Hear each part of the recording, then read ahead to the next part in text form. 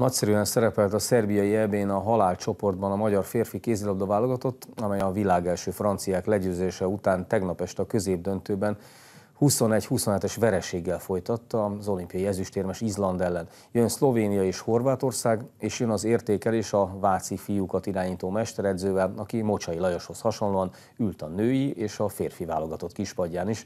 Csík János a vendég. Jó reggelt kívánok! Jó reggelt kívánok! Mi hibázott tegnap ezen a mérkőzésen? Fejben fáradt volna el a nagyszerű menetelés és diadalok után a társaság?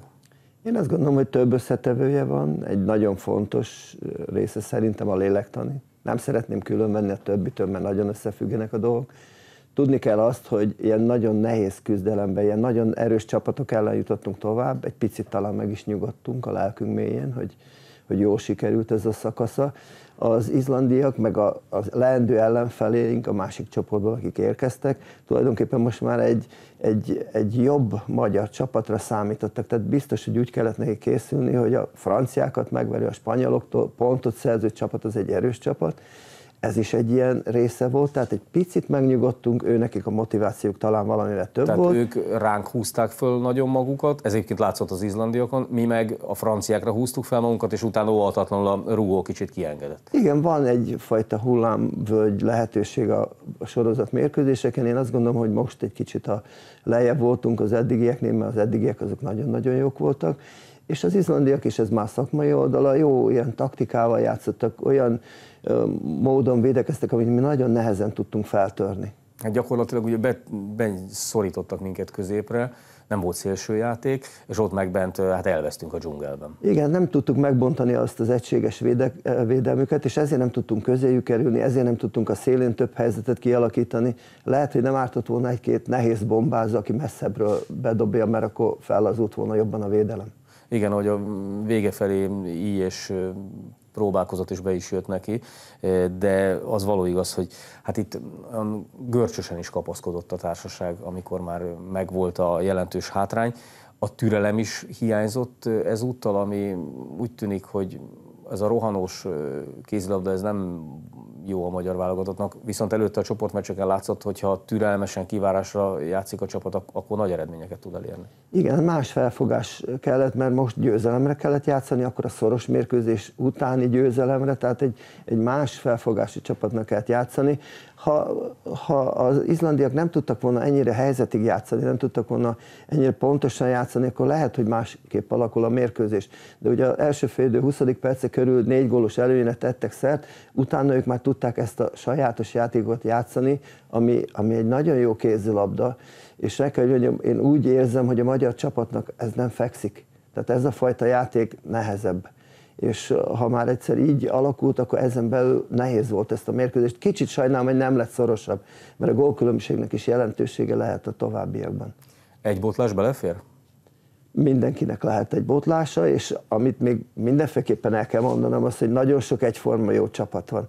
Tehát ha megnézzük az eredményeket, egy, kettő, három gól különbség van általában a mérkőzéseken, a franciák alig tudták legyőzni a, szlovénokat, pedig hát jelentős erőkülönbség van, kiegyenlítettek a viszonyok.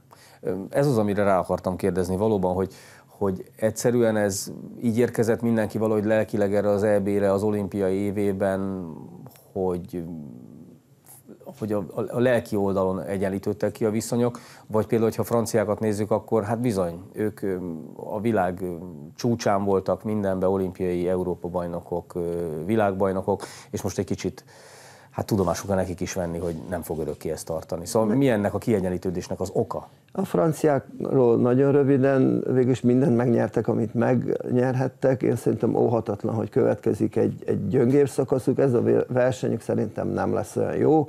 Nem is játszanak olyan, olyan, olyan, olyan magabiztosan, nem is játszanak olyan jól. Az, hogy kiegyenlített a küzdelem, az már egy régebbi folyamat, és én nagyon örülök, hogy ebbe a kiegyenlítődésben mi is belekapcsolódtunk. Tehát gyakorlatilag le tudunk győzni legjobb csapatot, le tudunk győzni olyan ellenfeleket is, akik itt korábban nehezebben, tehát mi jöttünk fel erre az élvonalnak a színvonalára.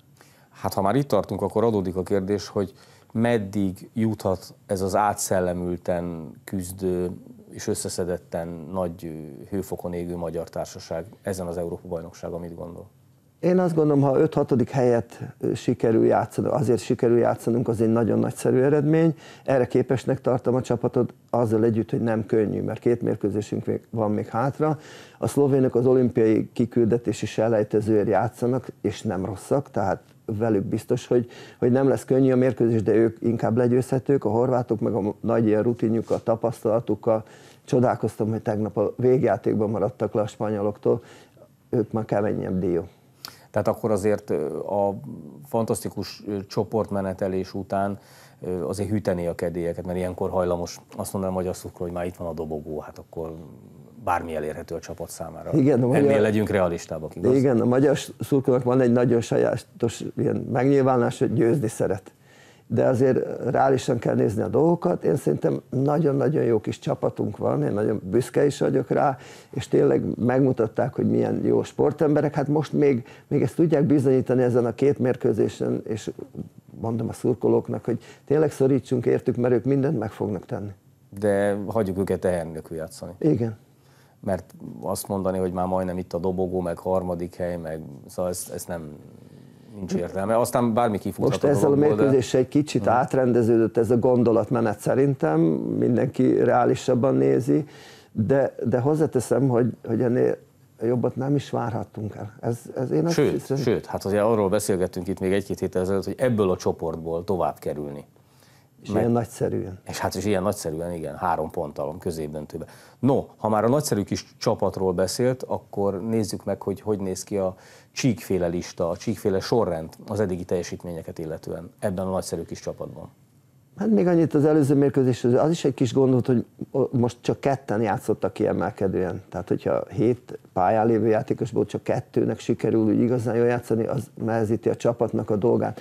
Hát nagyszerű kapus teljesítményt láttunk, mondjuk a franciák ellen csodálatosan védett a Nándi, az Illés felé a, a Császár Gabi, de sokan felnőttek egy-egy mérkőzésen ahhoz a szinthez, ahhoz a feladathoz, amivel a legnagyobb eredményt is el lehet érni. Ha látja a mezőnyt, látja a stílusokat, a játékokat, akkor merre felé halad a kézilabda?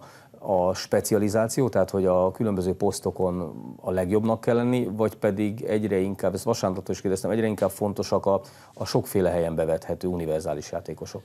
Én a magyarokat dicsérni, meg általában szeretem a magyarokat hozzáteszem, de a játékuk nekem nagyon tetszett az előző mérkőzéseken. Ötletesen, ügyesen játszottak. Azt is mondhatnám, hogy ilyen magyaros kézlabdát, ahol megtaláltak a legjobb helyzeteket. Nekem ezt tetszik legjobban. Ugyanakkor azért hozzá tartozik, hogy kellenek hozzá gladiátorok. És a mi csapatunkban nem olyan sok nagy gladiátor van. Tehát egy 130 kilós, két méteres beállós az nem ártana például. Igen, meg egy magas átlövő, meg aki, magas aki átlövő. messziről biztosan be tudja dobni a labdát. Nekem a mi játékunk, ez a fajta játék tetszik, általában én is ilyen játékos gondolatú vagy szemléletű vagyok. Azért azt hiszem, hogy a, az élvonalban, a, vagy a legjobbak között a végén most nem fogunk látni olyan nagyon érdekfeszítő ilyen, ilyen, ilyen játékra kihegyezett mérkőzéseket, inkább ilyen góra, góra játszó, ilyen, ilyen nagyon ilyen fegyelmezett, ilyen szoros mérkőzésekre vágyom. Miért? Én nem vágyom, ez lesz. Erre vár, ez igen, lesz. Ez, ez a várakozás, ez de lesz. miért? Mert nagyon kiegyenlített a küzdelem, nem nagyon vállalnak olyan fajta kockázatot a csapatok, és egy kicsit a miénkben is benne volt tegnap, hogy, hogy nem túl nagy kockázatot vállaltak ahhoz, hogy, hogy egyenlítsenek, mert akkor esetleg más a külön, vagy nagyobb a különbség. Minden labdának, minden helyzetnek megvan a maga jelentősége, és ezt igyekeznek halálbiztosan megoldani. No, hát akkor reménykedjünk, hogy a szlovénok ellen, mert hogy akkor tehát az lesz a könnyebb összejön. Ez és, az én gondolatom. És legyünk, legyünk realisták, aztán minden plusznak örüljünk. Nagyon szépen köszönöm, hogy itt volt nálunk.